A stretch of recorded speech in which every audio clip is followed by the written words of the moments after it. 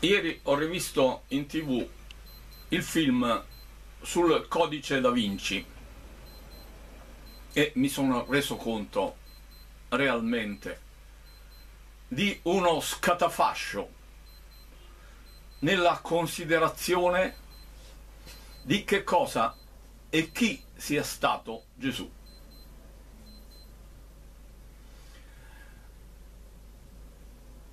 La sua evidente capacità di compiere miracoli, ossia di alterare le condizioni naturali in un modo che rivelasse un potere divino nei confronti del creato, ha indotto tutte le sfere che si sono concentrate sul Gesù a compiere tutta una serie di errori di valutazione. Il primo errore fondamentale, gigantesco, che proprio significa non averlo capito, sta in chi, sentendosi investito di un potere di continuità da parte di Gesù, che si allontana dal mondo, improvvisamente crede di aver avuto il compito di fare quello che Gesù non ha mai voluto fare, ossia interferire con coloro cui è affidato il mondo, con quel potere di Cesare nei confronti del quale Gesù mai ha voluto coinvolgersi, mai. Figlio di Dio che arriva sulla terra e che non sente l'urgenza di andare da Cesare a dirgli, caro Cesare, tu devi comportarti così, così e così. È quello in cui si vedono investiti tutti i vicari di Cristo, che specialmente oggi si elevano nei confronti del mondo in cui Cesare è il dominatore, come i maestri nei confronti proprio di Cesare. Gesù non ha mai degnato di alcuna attenzione Cesare. Gesù si è concentrato e lo ha rivelato come il suo compito a quella cananea che era venuta un giorno a chiedergli un intervento, il mio compito è di recuperare le pecorelle perdute della casa di Israele. Un compito apparentemente minimo, non aperto al mondo, concentrato sulla casa di Israele e sulle pecorelle smarrite della casa di Israele.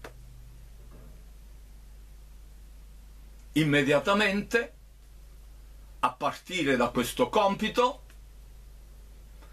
coloro che hanno continuato, secondo la loro intenzione, l'opera di Gesù, improvvisamente gasati di potere, si sono messi a voler insegnare non alle pecorelle smarrite, ma ai re.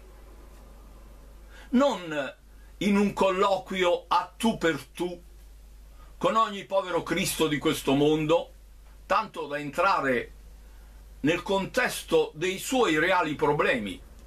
No, o le folle oceaniche che possano così ricevere nel loro insieme il valore di Cristo, oppure, oppure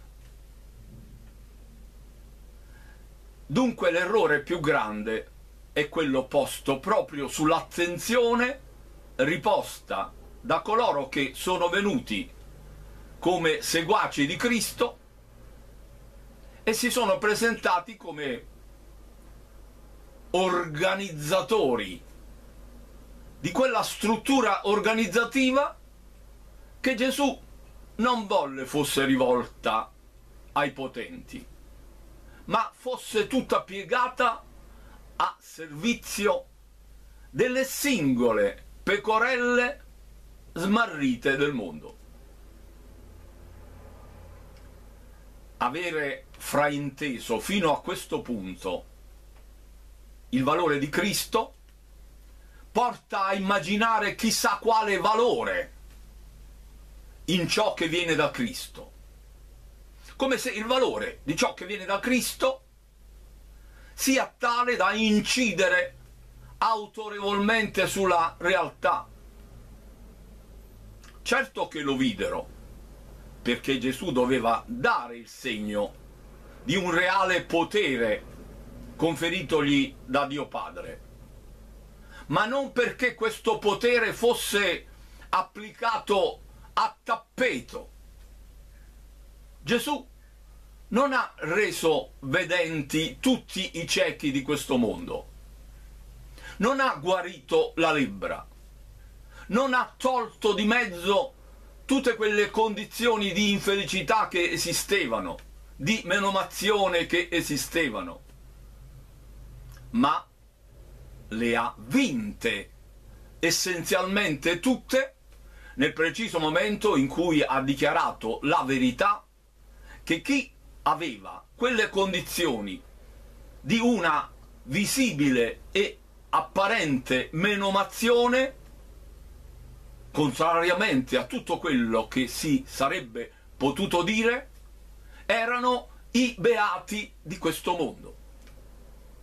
Quando Gesù legge come beati tutti gli oppressi, tutti i violentati, tutti quelli che patiscono il peso di, gestire, un mondo in cui i violenti si approfittano di loro, tutti costoro immediatamente sono salvati da Gesù, senza bisogno di essere salvati da quello, proprio rivalutando quello e facendolo vedere per quello che veramente è un grande successo, una grande beatitudine, un grande privilegio e favore concesso dalla divina provvidenza.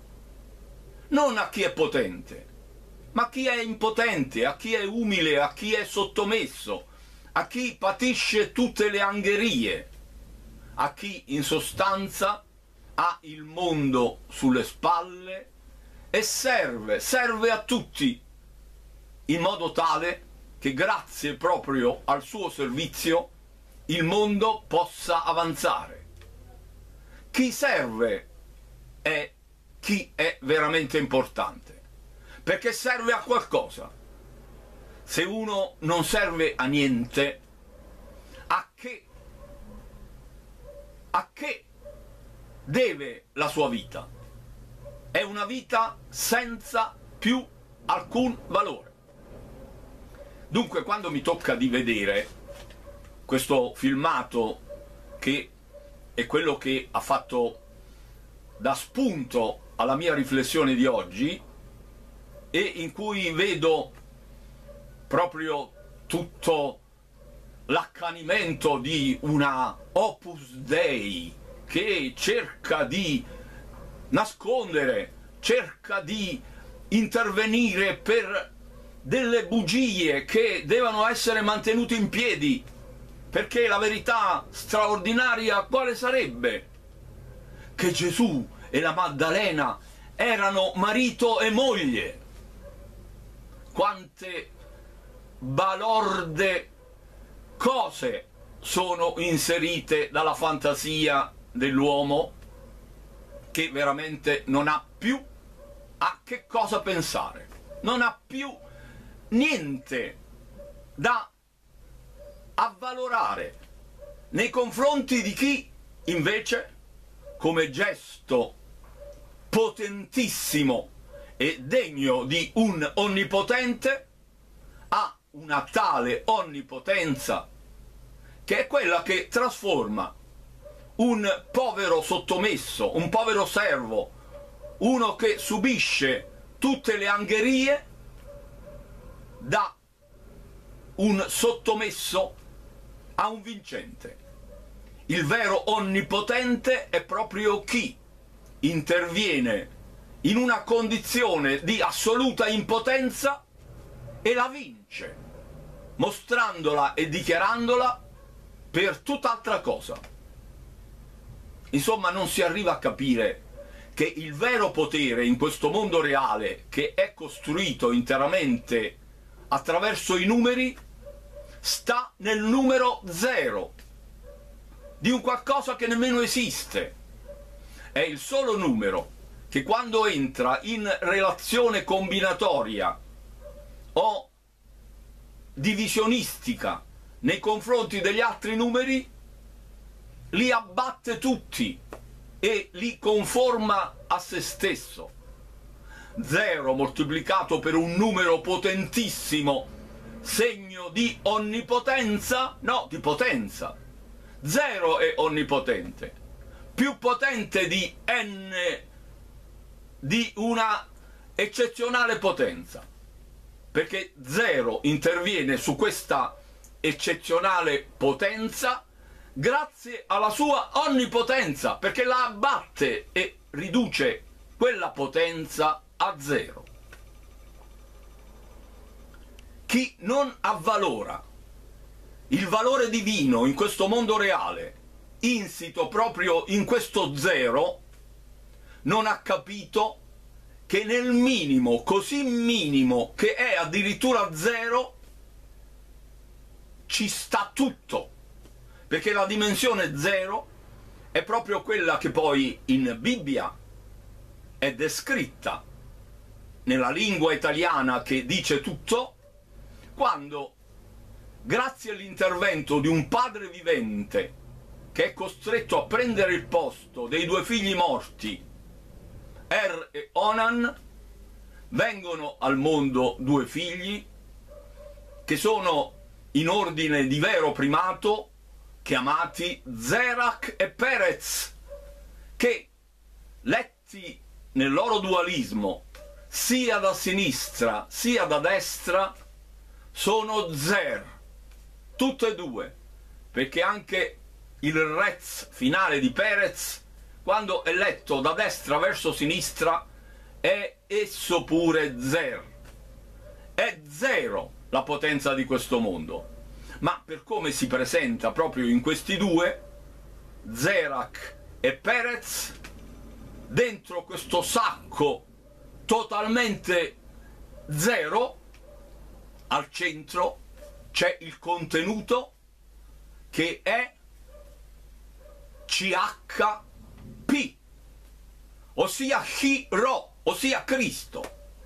Tutto è descritto ma il potere di Cristo è quello che è contenuto in uno zero, letto da sinistra e da destra.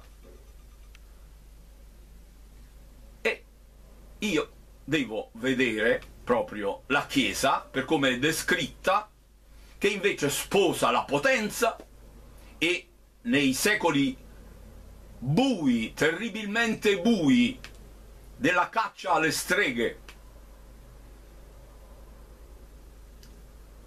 si cercava di imporre con la forza Gesù Cristo e chi non accettava di piegarsi a Cristo era ucciso. Se voi soltanto pensate a che violenza è arrivata la fede cristiana nel fraintendimento totale di Gesù che si descrisse mite e che invece a questi rappresentanti violenti che uccidono, mettono a morte, mettono al rogo chi non si vuole piegare a Gesù Cristo, ma a Gesù Cristo. No, a come lo hanno capito tutto al contrario, perché Gesù quando si trovò di fronte al problema del sabato e gli chiesero che senso si dovesse dare al sabato, Gesù disse che il sabato era voluto da Dio per il bene dell'uomo e non l'uomo per il bene del sabato. Insomma, l'attenzione del massimo, ossia di Dio, è tutta rivolta al minimo. È il massimo che si fa servo del minimo e lo sorregge, così come descritto in Genesi 25, quando nel grembo della mamma c'era una grande lotta e l'oracolo del Signore fu in te ci sono due grandi popoli, il maggiore si imporrà sul minore ma il maggiore servirà il minore. Ecco il valore divino. Il maggiore deve servire il minore, perché questa realtà invece è vissuta tutta al contrario, del minore che serve al maggiore. Laddove c'è un minore che non può nulla, deve spendere quel poco che ha per sorreggere chi ha. E questa è una cosa semplicemente mostruosa, irrazionale, irragionevole, che significa proprio fraintendere totalmente Gesù Cristo e in questo senso di fraintendimento arrivare poi a stravolgere la verità e andarsi a immaginare tutto quel tentativo di abbattere il valore essenziale della figura di Cristo attraverso delle invenzioni, delle speculazioni proprio tutte finalizzate a togliere di mezzo questo valore assoluto che è entrato nel mondo per la salvezza di tutto ciò che nel mondo esiste di debole, di sottomesso. E chi ha questa fede non ha bisogno di vedere che un piccolo diventa grande in questo mondo per intendersi beato. È già beato. E invece perfino la Chiesa, nella sua strategia di una Chiesa finalizzata alla socialità, non intende beato chi è sottomesso, fino a quando non cessa la sua sottomissione.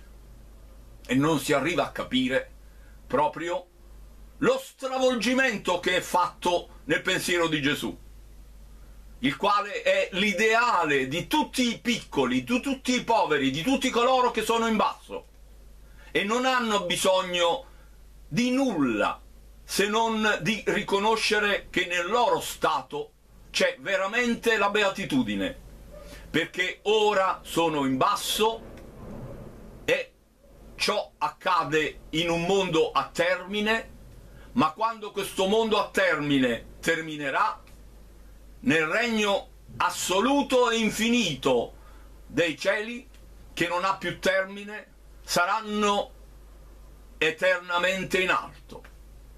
E allora, se il fine è quello di essere infine eternamente in alto, grazie a un momento di contrapposizione chi ora si abbassa e vuole abbassarsi sarà chi poi sarà eternamente in alto.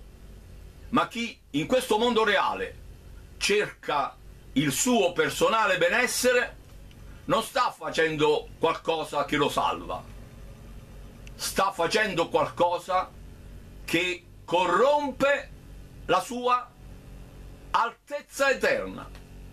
Perché se ora tu vuoi essere su, sarai poi eternamente abbassato. Perché tra i due mondi c'è una condizione di uguaglianza e di opposizione.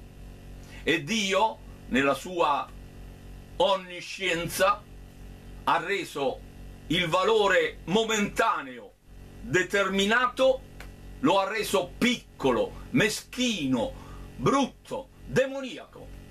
E quando accade che ognuno è così in basso ora, ha desiderato abbassare se stesso affinché poi nel tempo eterno si possa essere eternamente alzati.